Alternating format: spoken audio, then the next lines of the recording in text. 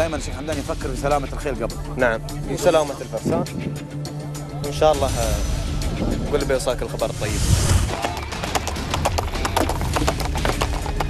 بطلة السابعة في هذا آه، المهرجان.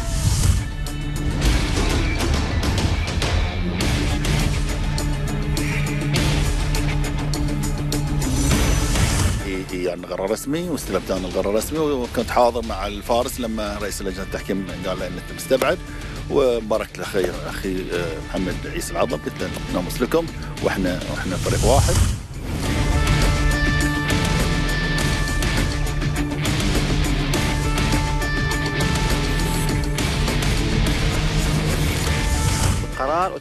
من بناء لجنة. على لجنة التحكيم بوجود مراقبين على ال finish line اللي هو خط النهاية لما شافوا تصرف غير صحيح بدر من الفارس اللي فايز بالمركز الأول تم اجتماع اللجنة وتم اتخاذ القرار بالإجماع على استبعاده. هذا اللي صار.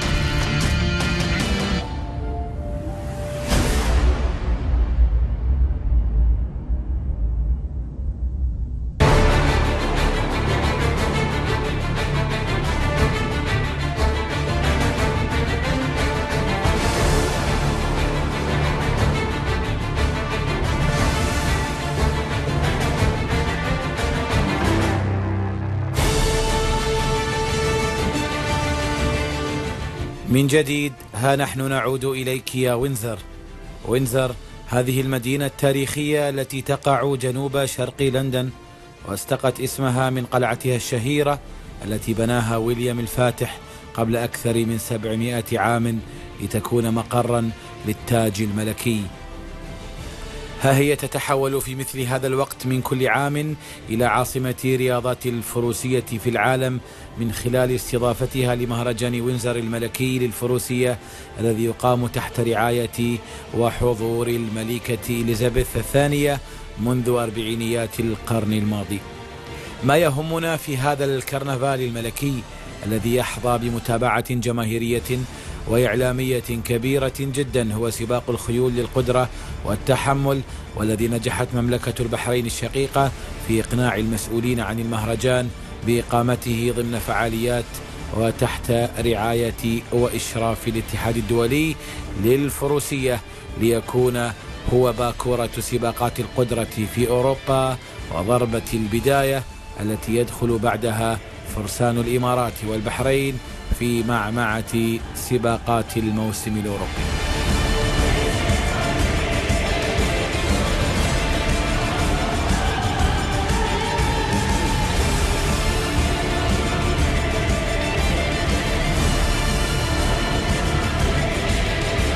الخميس التاسع من مايو الجاري كان الموعد مع الفحص الفني للمشاركين في السباق وبالطبع تكون فيه الفرصة سانحة للالتقاء بالمدربين والفرسان والخبراء ومعرفة الملامح التنافسية للسباق الذي سيقام في اليوم التالي.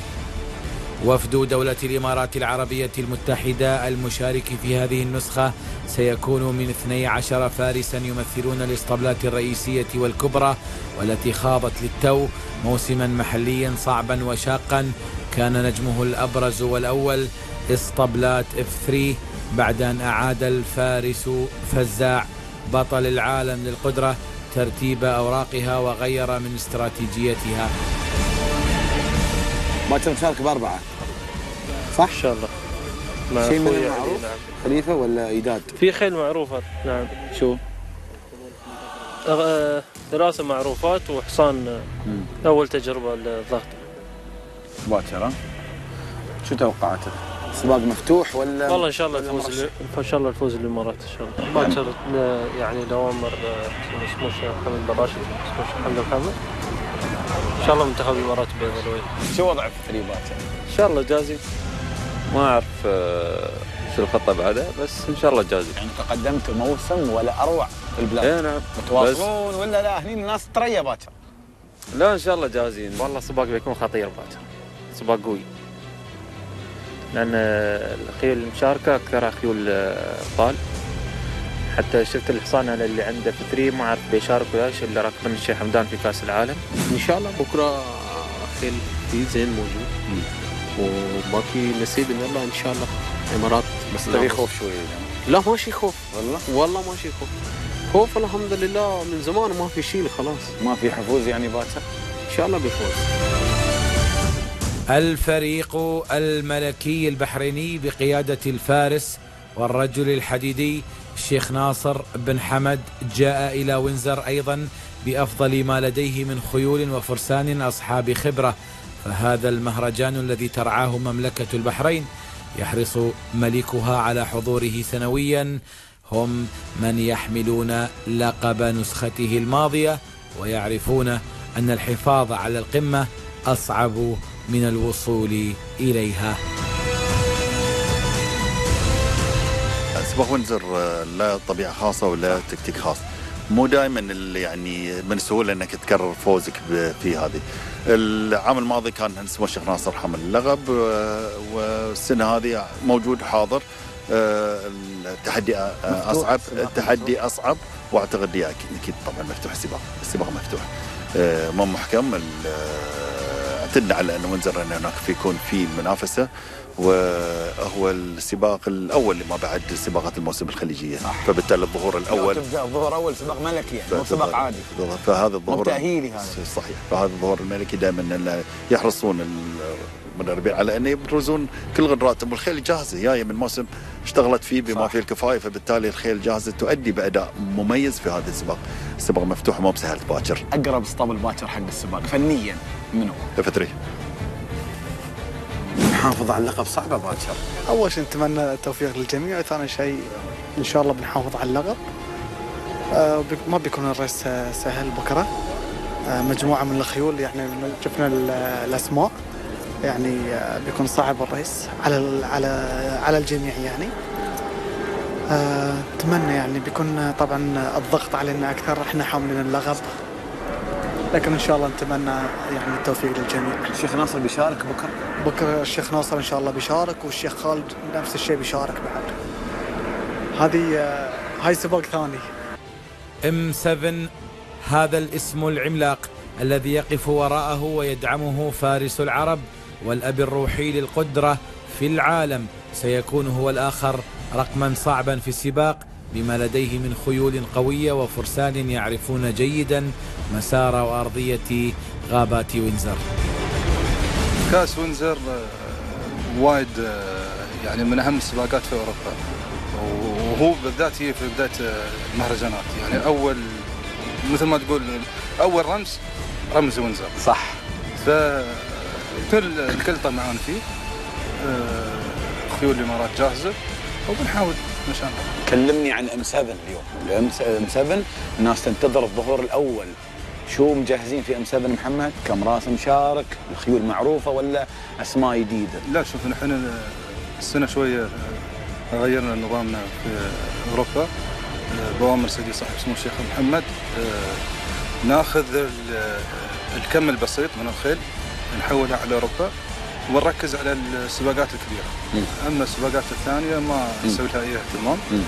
فالكم خف علينا لكن آه، اللي وينزر مجهزين آه، خيول جيدة في ال- نوعية. نوعيات جيدة حلو. للسباقات الكبيرة. مم. لكن النوعيات هذه مش معروفة. فيمكن الحصان الوحيد المعروف اللي بيركبه آه، الشيخ راشد بن دلموت حصان ماخذ كاس الملك آه، في البحرين في فئة الجونيور. واليوم بيكون أول ظهور له اوروبي والله آه، الحصان هذا اللي اللي, اللي شو مسجل عليه أنا حصان حصان زين record زين. بس يوم تدخل على تاريخه حصان ترى صغير في السن وما عنده آه، وايد مشاركات. لكن كل المشاركات اللي مشاركنها في البحرين كانت مشاركته اي حلوة. نعم شارك في البحرين وسابق في البحرين. نعم. مثل ما قلت لك يعني record ه مو مثل الخيل الثاني اللي موجوده هنا لكن record لين الحين يعني ما شاء الله مشرف وزين. وإن شاء الله انه حصان باكر آه، إن شاء الله انه بيد يده طيب شو توقعاتك باكر؟ السباق بيكون مفتوح باكر الشيء؟ اي نعم أتوقع إن هذا الدوم إحنا كل ما نحضر هني آه، سباقات وينزر آه، يعني المنافسة تكون فيها قوية. وتعرف أنت آه، من أولى السباقات اللي نحن نبدأ نبلش فيها في أوروبا. صح. فمعظم الأسطبلات تحاول إنها تبدأ صح عشان تكمل الموسم هذا. لكن إن شاء الله إنه بيكون سباق ممتع إن شاء الله. الضلع الرابع في المنافسة الإماراتية البحرينية التي تعود الجميع عليها في النسخ الست الماضية هو شعار MRM فرغم ابتعاده عن منصات التتويج كصاحب المركز الأول منذ فترة إلا أنه لم يغني عن الصعود إليها كصاحب المركزين الثاني أو الثالث وهو أيضا مرشح بقوة للمنافسة على اللقب في السباق الملكي. الله طول العمر شيخ محمد. آمين. زين. وإن شاء الله يظل اراد بكرة. آه MRM عندهم اربعه ونفس ما عندهم M7 و F3 كل واحد على أربع أربع خيول. okay. وتوافيق إن شاء الله إنه واحد منهم اللي يسبق. أعتبر أقول أنا ناموس خيولك جديده باكر؟ في من شيء جديد وشيء من جديد. شيء معروف عندك باكر؟ بتشوفها باكر إن شاء الله. خبرني اليوم ترى الحين بنعرف اسمعي سباق مفتوح تكتيك المدربين وال rider ية. انه باكر بيكون مطر يقولون ولازم يحاسبون. ب... أنا أقول باكر بيكون في سرعه السبوسي يقول 26 باكر الافرج والله شوف يمكن إن مغيرين المراحل بس أنا اللي أعرفه ما يقدر يسوون 26 يمكن 25 صح. 26 صعب إنهم العام سووا 24 السنة يمكن 25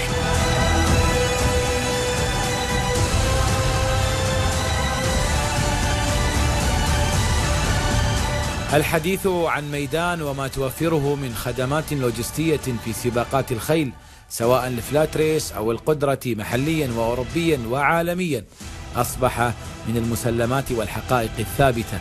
وأينما تواجدنا نجد خيمة ميدان هذا الصرح الذي يتزين بأعلام الدولة ويستقبل ضيوف السباق وأفراد البعثة الإماراتية.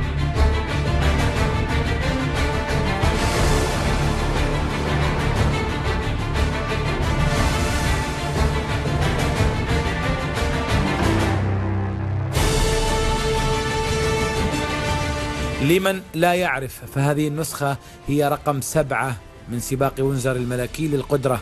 ولمن لا يعرف أيضا فالمرات الست التي أقيم فيها هذا السباق لم يخرج اللقب عن فرسان الإمارات وفرسان البحرين الذين يعتبرون وينزر بمثابة الديربي الخاص بينهما. في السابعة من صباح يوم السبت العاشر من مايو الجاري بتوقيت غرينتش ومن ساحة حديقة وينزر الملكية انطلق السباق بمشاركة أكثر من 30 فارس وفارسة سيقطعون مسافة 120 كيلومترا داخل الغابات الملكية المحظور دخولها للعامة في أجواء جوية تنذر بهطول المطر الذي قد يصعب من مهمة المشاركين وسيقلل كثيرا من بيز السرعة الذي توقعه البعض. أن يكون في حدود 25 كيلومتر. لكن أهم ما يميز هذه النسخة هو أن معظم الخيول المشاركة جديدة وليست من الأسماء المعروفة والتي لها إنجازات سابقة في سباقات القدرة. أيضا فباب المنافسة مفتوح على مصراعيه للجميع على الرغم من ترشيح البعض لإف 3 بعد الموسم المحلي الجيد جدا الذي قدمه هذا الشعار الكبير. وتستمر المراحل الواحدة تلو الأخرى وكل مرحلة تحمل لنا المفاجأة. فقائد فرسان إم 7 شيخ راشد بن دلموش يخرج من السباق بعد استبعاد جواده الجيد الذي كان مرشحا بقوة. وقائد الفريق الملكي البحريني حامل لقب النسخة الماضية يتأخر ولم يتمكن من الدخول ضمن العشرة الأوائل بعد نهاية المرحلة الثالثة. وغانم العويسي يدخل في صراع ساخن على الصدارة مع فرسان وفارسات البحرين. والموقف التنافسي غامض تماما ولن تحسمه سوى المرحلة الرابعة والأخيرة.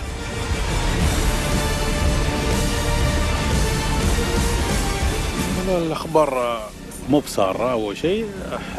راشد دلمونك الشيخ راشد دلمونك آه، استبعدوه. استبعدوه. حصان الليمي. كان المركز الثاني. الحين عندنا غانم الأول وعندنا الشيخ النجلة من الفريق البحريني. الفريق البحريني. وعندي إن شاء الله أنا خيلين ثالث ورابع. وانت عارف الحين هي الخبرة والتكتيك اللي بس بنسبة كم يروح السباق للامارات بغض النظر امارم ولا اف 3 بنسبة كم يروح الإمارات؟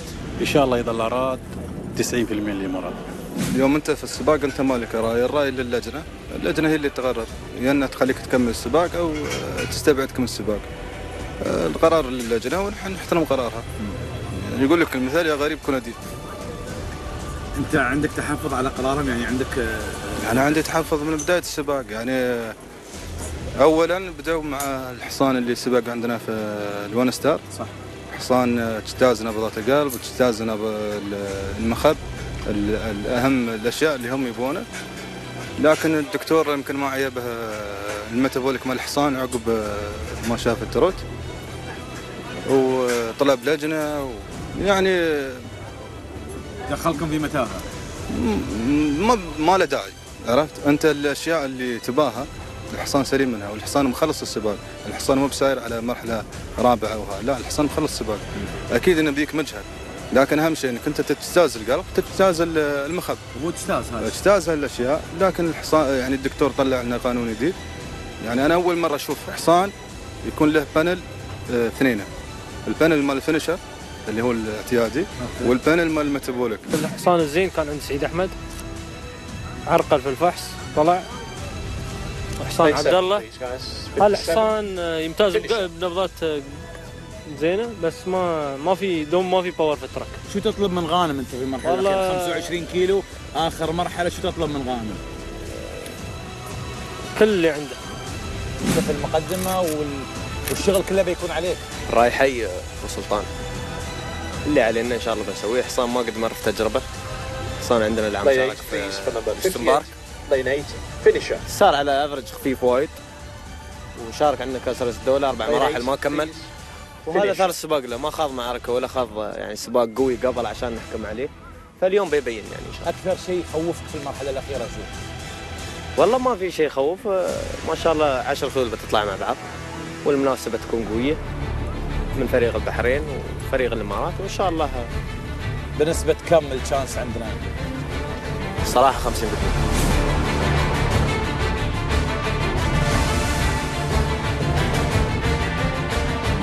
توجيهات الشيخ حمدان شو كانت قبل شوي؟ ركز على الخيل ما نضغط فوق طاقته يعني.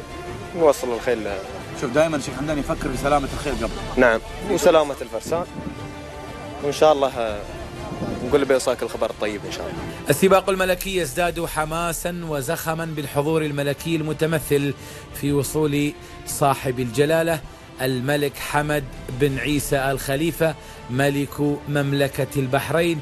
إلى الخيمة إلى مقر السباق في وينزر وبعد وصوله بدقائق جاءت الملكة إليزابيث الثانية كعادتها ليستقبلها الملك ويتابعان معا ما ستسفر عنه المرحلة النهائية من السباق ومن سيتوج بطلا للنسخة السابعة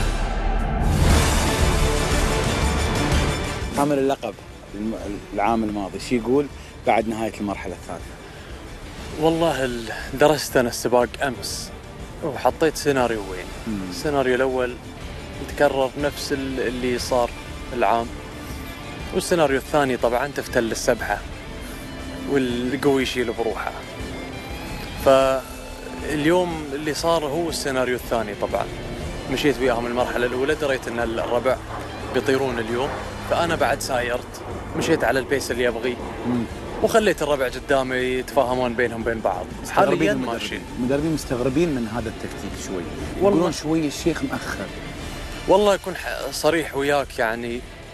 عذر أقبح من ذنب بس الفرس ما هي بهي.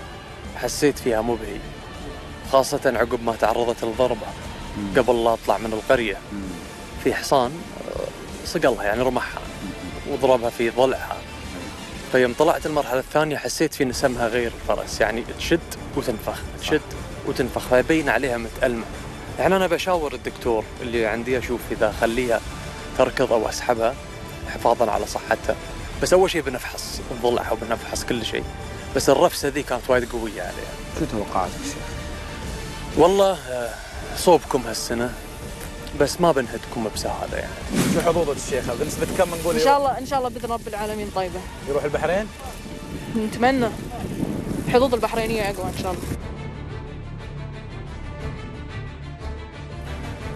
ولأن السباق والمرحلة الأخيرة منه لم يكن منقولا بشكل كامل على الهواء مباشرة.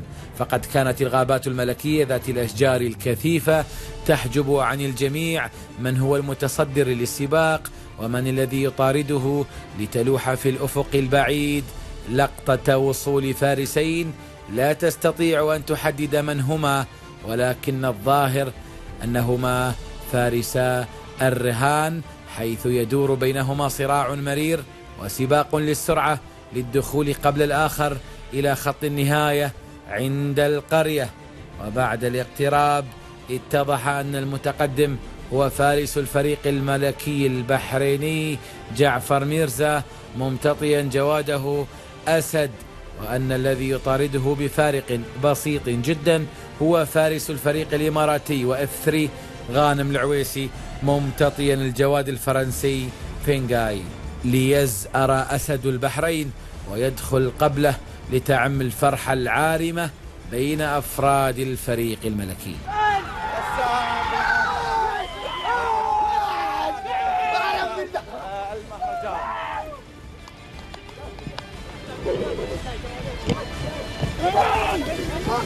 ناموس ناموس ناموس الله يطول عمرك ناموس ناموس ناموس كفو عليك والله كفو عليك قوي جدا كفو عليك شو رايك؟ اليوم جحيم pace يا أخي ما يخوفون وايد pace قوي كلمني عن الامتار الاخيره flat شوف 40 تمشي اي والله 40 اي والله متى حسيت انك خلاص؟ أنا؟ إيه انك سبقت أنا قبل 5 كيلو حسيت حصاني مشحون آه من قبل خمسة كيلو. 5 كيلو نعم. سباق كان وايد قوي. وايد قوي. في عالم سباقات القدرة تعودنا على ضرورة تأجيل الفرحة إلى ما بعد الفحص الفني والإعلان الرسمي من قبل اللجنة المنظمة. وها هم كل أفراد البعثة البحرينية يعيشون لحظات صعبة وهم ينتظرون نتيجة الفحص الفني لأسد صاحب المركز الأول الذي احتاج لوقت كي تهبط نبضات قلبه لكنه اجتاز في النهاية الفحص. وبدأ للجميع أن الفريق الملكي الشقيق قد نجح في الحفاظ على لقبه. وبدأت الاحتفالات في ساحة حديقة وينزر. وذهب الفرسان الحمر إلى الخيمة الملكية للسلام على الملك وسط مظاهر عارمة من الفرحة.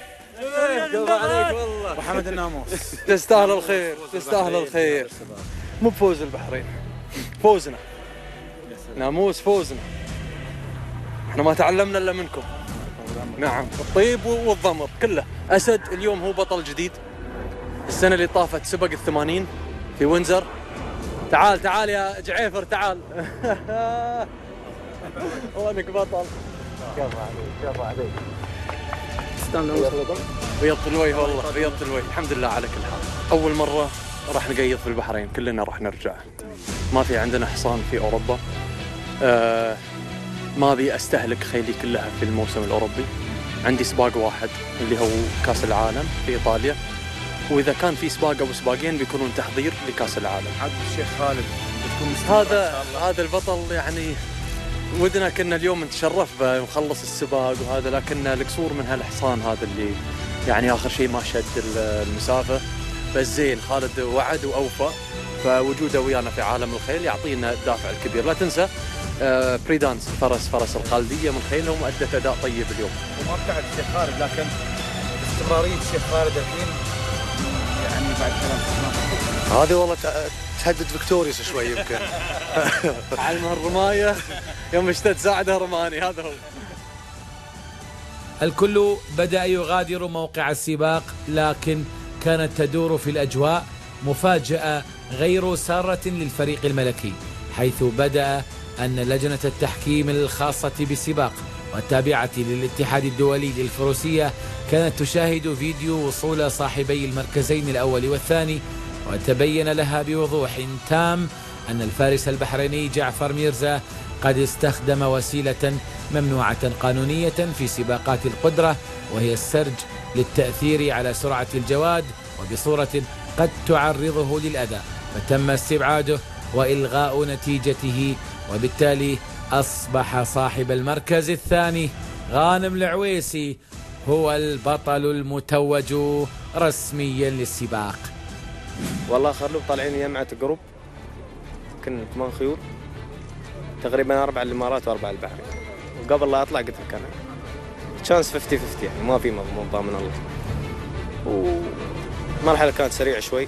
آخر 10 كيلو. قبل سرعة عادية. واستوى اللي استوى آخر كيلوين على الفنش نعم وصلنا. وصلنا فوق الأربعين بعد. والحصان اللي فيه فنش أكثر هو اللي فاز. أما تقريبا نفس المستوى وصلت نفس المستوى مو بحصان فارق وصل نعم. سيناريوهات ولحظات ترقب عشناها بصورة حصرية ورصدناها بالكاميرا. سيناريو قد لا يحدث إلا في سباقات القدرة التي تحكمها قوانين صعبة وتذهب في بعض الأحيان إلى تقدير الحكم. وبالطبع قام الوفد البحريني بالاعتراض على قرار الاستبعاد وسينظر الاتحاد الدولي في الشكوى لكن القرار النهائي للجنة التحكيم المحايدة كان هو تتويج فارس الإمارات وإف 3 غانم العويسي بطلا لسباق وينزر الملكي ليتواصل تألق هذا الشعار محليا ودوليا. قرار أنا أعتقد إنه قرار خذ رئيس لجنة التحكيم. ما أقول لك قرار مو خاطئ في جزء في جزئية من الخطأ لأن القرار يقول لك القانون عدم استخدام المهماز أو اللي هو الويب في مع الخيل الخاصة بسباقات غيرها هذا قانون ارتكل واضح. أو استخدام أي أداة تعادل ال whip. أنا عندي الأداة بالنسبة لي تفسيراتها وايد واسعة. ممكن أداة قص قص قص من شيرة وابتدي أضرب. هذه أداة صحيح ممنوع. بس هم اعتبر اللي هو اللجام جزء من أداة يستخدم لل whip قلت له اللجام المتعارف عليه. الممنوع اللي هو اللجام الطويل اللي ممكن اللي كانوا يستخدمونه في الأول في أمريكا الجنوبية الطويل يضرب يمين ويضرب يسار واللجام المفتوح. هذا اللجام ممكن اللي هو ممنوع فيه أو إنه كانوا يعني يعتبرونه كأداة ممنوعة. هذا اللجام اللجام حده حطوه شو اللي بيأثر على على على أداء الحصان؟ والكل قاعد يتحرك. يعني إحنا شفناها في السباقات كلها. هذا يوم على finish. ما بتقدر تقول لي والله على ال finish يلا يلا بابا خلينا نروح نخلص على نهاية ال finish. لابد إنه بيكون في تفاعل لابد يكون في انفعال. فبالتالي تم الاستبعاد يعني إنه هو استخدم الأداء الغير اللي تعادل استخدامها ك الرسمي عطني عطني الموقف الرسمي من البعثة البحرينية تجاه هذا القرار. قابلين القرار بالنسبة لنا. آآ آآ نحتاج على رفعنا قرار لل يعني الاحتجاج على قرار الحكم. و أما باقي الفرق الفرسان اللي خلف الفرق البحريني أو الفارسين الفرسان البحريني نامس لهم أنا قلت لك بشرتك قلت لك 3 بيفوز. 3 فعلا هو كان الحظ الأوفر المركز الثاني ومبارك له. وسعيدين فيه في من حاول إنه يقول لنا تعالوا غدوا احتجاج على 3 أو فرسان الإمارات. آسفين إحنا ما نقدم إحنا. إحنا النومس حق الإمارات مثل ما ينومسون لنا. نفرح لهم مثل ما يفرحون لنا. ما بنقدم. واللي يبغي يعني يظن إن إحنا فرق مختلفة الآراء لا إحنا فرق واحدة. وأمانة هذا يتوجه سمو الشيخ ناصر بن حمد الله يحفظه. إحنا فرحنا. مثل ما أنتم فرحتوا لنا إحنا فرحنا لكم. إحنا حتى حافظنا على مستوى التحكيم اللي هو رئيس لجنة التحكيم إنه هو مو بالمستوى المطلوب لأن مرجعيته لمستشارين قدمتوا احتجاج على مستوى التحكيم بشكل عام. بس على رئيس لجنة على القرار. على قرار رئيس لجنة التحكيم. بس.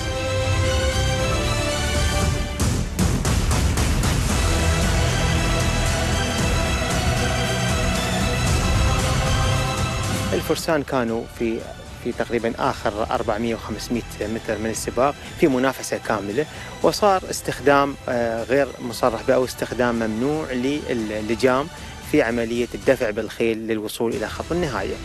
فكان في حكام موجودين على ال finish line والحكام هذيلا آه، ارتوا ان يتم استبعاد الخيل اللي فايز بالمركز الأول وذلك لقيام بهذا التصرف الغير صحيح.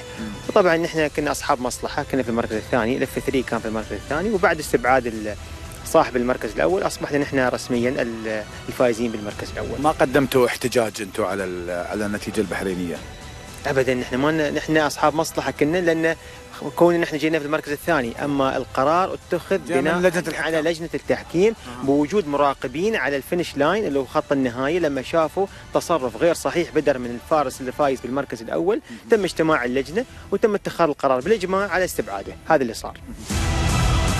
قد يكون الحماس الزائد وقلة الخبرة أو المعرفة بقوانين القدرة هي من تسببت في وقوع الفارس البحريني جعفر ميرزا في هذا الخطأ الذي كلفه الاستبعاد من السباق وفقدان المركز الأول. لكن للحق والتاريخ فقد كان أفراد البعثة الإماراتية هم أول من هنأ الأشقاء في الفريق الملكي البحريني بالفوز قبل قرار لجنة التحكيم ولم يعترض الوفد الإماراتي على النتيجة بل كان القرار سياديا من اللجنة. وكذلك لم يعترض الوفد البحريني على فوز الإمارات بالمركز الأول بل على قرار الحكم ورئيس لجنة الحكام بشخصه. هذه هي أخلاق الفرسان التي تعكس علاقات الود والمحبة بين فرسان البلدين.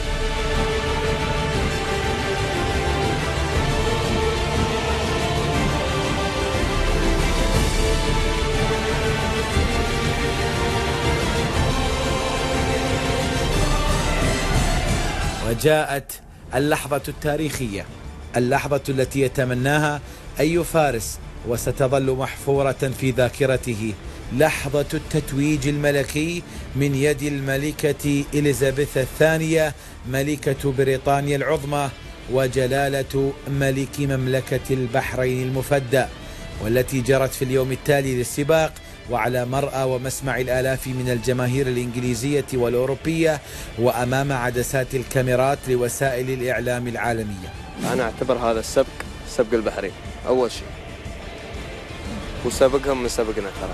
وسبقهم من سبقنا إحنا. أكيد. نعم. فهذا كله قسم ونصيب. الإنسان يجتهد ويسوي اللي عليه. والباقي كله عند الله سبحانه وتعالى. نعم. والحمد لله حققنا المركز الأول. ومبارك لرئيس الدولة. ومبارك لنائب الشيخ محمد بن راشد ومبارك آه، المالك اسطبل F3 سيدي اسمه الشيخ حمدان بن محمد الله يحفظه. وهذا كله من تعليمات وتوجيهات. أرجع لمكالمة الشيخ قبل ال loop الأخير. شو قلت لي؟ والله كانت في تعليمات آه، عن سير المرحلة الأخيرة. و... وأنت سألتني بعد قلت لي إيش تتوقع يعني من قلت لك 50 50 يعني ما أقدر أنا أقول لك أنت حتى استغربت أتوقع من هال